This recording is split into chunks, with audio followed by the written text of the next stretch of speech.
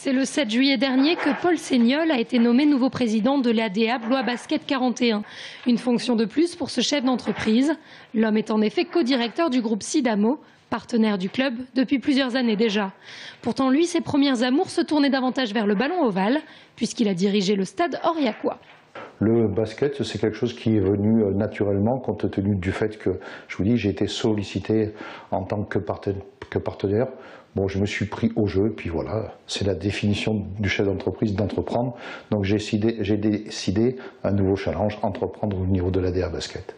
Changement de présidence ne rime pas forcément avec rupture. Paul Seignol vise plutôt la continuité.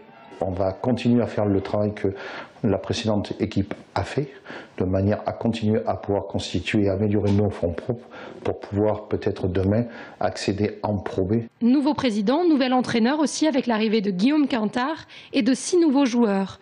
Côté pivot, Ibrahima Koma, et le tchèque Jan Tomanek, l'ailier Cédric Ferchaud et deux anciens de Quimper, l'arrière Florian Thibédor et au poste 4 l'américain Coré Raji. Et enfin le jeune joueur Kevin Dinal, prêté par le club de Pro A de Paris-Levallois, qui évoluera sur les postes d'intérieur et d'ailier. Parmi eux, deux joueurs et un entraîneur de Pro un recrutement derrière lequel transparaît une belle ambition. Le club est clairement ambitieux, toujours. Euh, maintenant, euh, ambitieux mais humble. Les jolis noms sur un papier, ça n'a jamais gagné de match. Par contre, une attitude euh, positive et un comportement cohérent, et puis évidemment des, bons joueurs qui, sont mis dans de bonnes conditions, ça, ça en gagne. Et oui, le but, ça va être d'être dans la course, dans la course du haut de tableau. Maintenant, on n'est pas tout seul.